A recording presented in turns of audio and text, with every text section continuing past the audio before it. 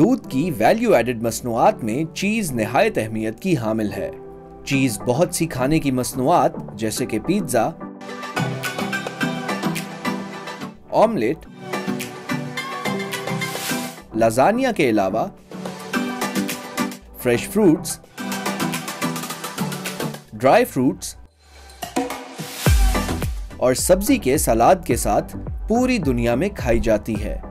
चीज़ या तो industrial processing के तरीके से बनाई जाती है, जिसमें फ़ूड एडिटिव्स का इस्तेमाल किया जाता है। दूसरी किस्म में, चीज़ को घरेलू सतह से लेकर बड़े पैमाने की सनत पर कम से कम प्रोसेसिंग को इस्तेमाल करते हुए बनाया जाता है। इस किस्म की चीज़ को आर्टिसन चीज़ कहा जाता है। दुनिया भर में चीज़ की 2000 से जायद इकसाम इस्तेमाल की जाती हैं। पाकिस्तान में खानों की जिद्दत का कारोबार तेज़ी से बढ़ रहा है। और इस मरहले में सार्फिन को मुख्तलिफ़ इकसाम की चीज़ मुतारफ करवाई जा रही है।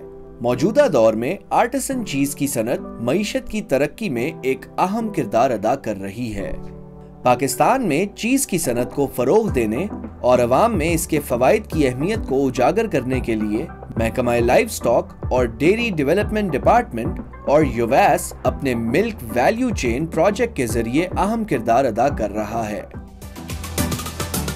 चीज़ प्रोसेसिंग का अमल शुरू करने से पहले तमाम वर्कर्स फैक्ट्री में दाखिल होकर सबसे पहले बायोसिक्योरिटी और सख्त हाइजीन प्रैक्टिसेस का ख्याल रखते हुए सर और चेहरे को ढांपते हैं।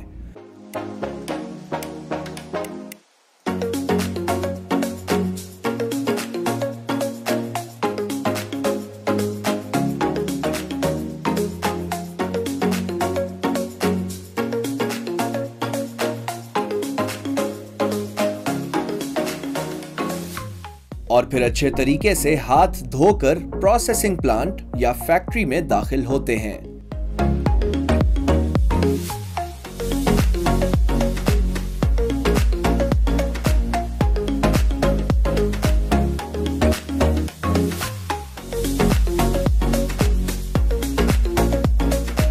चीज़ की प्रोसेसिंग के पहले मरहले का आगाज़ डेयरी फार्म से चिल्ड वैन के ज़रिए तमाम हाइजीन प्रैक्टिसेस को मद्देनजर रखते हुए दूध को रिसेप्शन टैंक में मुंतकिल करने से होता है।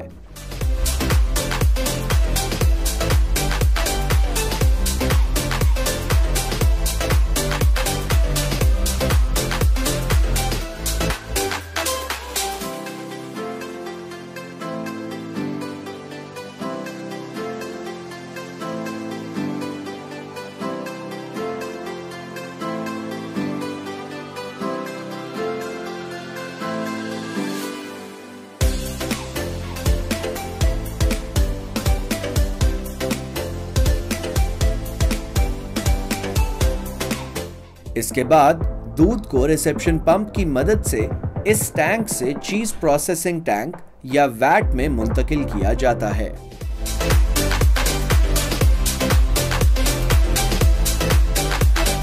चीज़ वैट में मुंतकिल करने के बाद दूध को एक मखसूस दर्जे हरारत पर गर्म करने के बाद ठंडा किया जाता है और इसे जाग लगाई जाती है।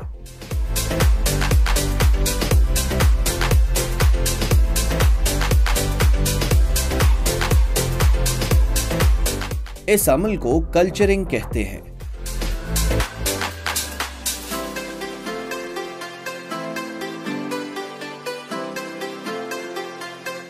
कल्चरिंग के बाद इस दूध को अच्छी तरह से मिक्स किया जाता है।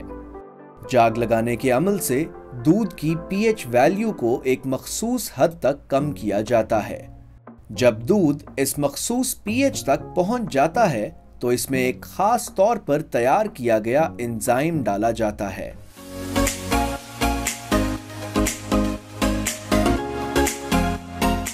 और बड़े स्टेनलेस स्टील के चमचों की मदद से मिक्स किया जाता है। इस अमल के एक घंटे बाद ये कर्ड बन जाता है। कर्ड की तैयारी के एक घंटे के दौरान इस अमल की सख्ती से निगरानी की जाती है। और इसके मैार को चेक करने के लिए कई बार सैम्पलिंग की जाती है।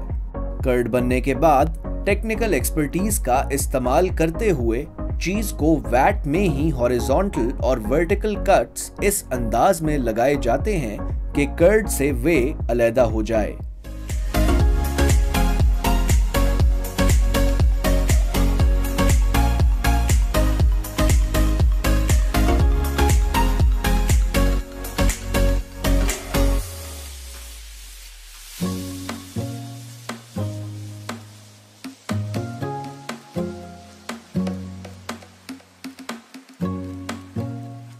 कटिंग का अमल मुकम्मल होने के बाद वे को चीज़ वैट से खारिज कर दिया जाता है।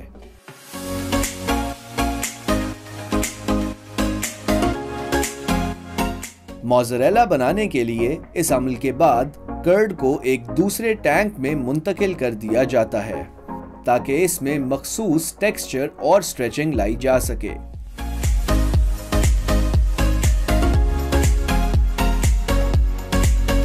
इस स्ट्रेचिंग के अमल में चीज़ में गर्म पानी डाला जाता है।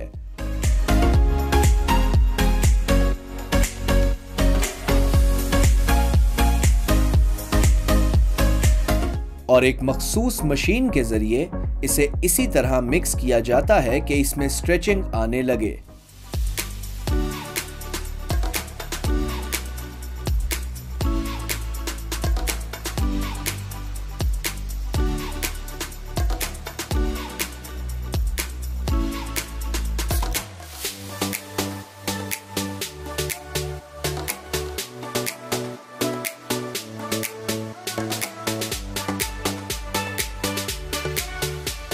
इस अमल के मुकम्मल होने के बाद चीज़ को वीडियो में दिखाए गए स्टेनलेस स्टील के सांचों या मोल्ड्स में डाल दिया जाता है।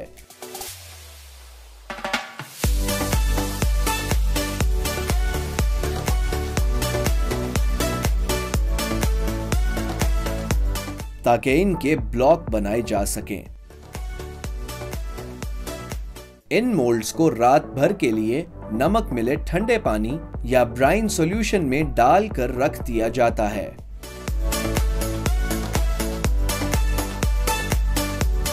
इस अमल से चीज़ का जायका और टेक्सचर बहुत बेहतर हो जाता है। अगले दिन इन ब्लॉक्स को निकालकर पैकेजिंग के लिए भेज दिया जाता है।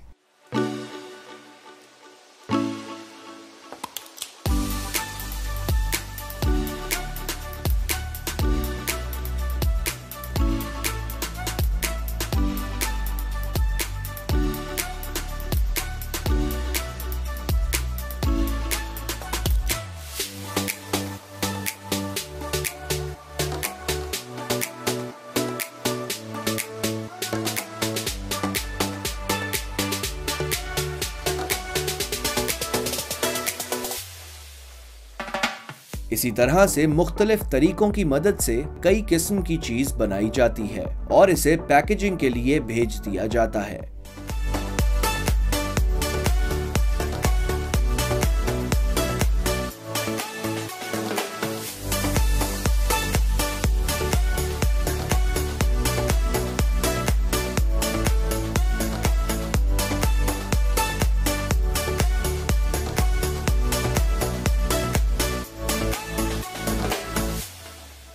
पैकेजिंग के बाद चीज़ को कोल्ड स्टोरेज में महफूज कर लिया जाता है।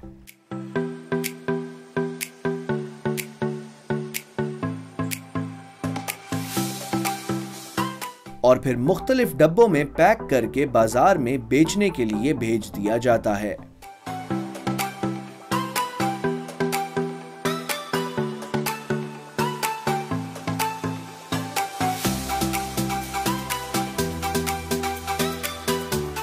एजिंग प्रोसेस या राइपनिंग के अमल में हार्ड राइपन चीज़ की कई इकसाम को दो माह से दो साल के तवील अरसे तक कोल्ड स्टोरेज में एजिंग करवाई जाती है। एजिंग से चीज़ में इंसान दोस्त बैक्टीरिया चीज़ टेक्सचर और जायका बहुत बढ़ जाता है।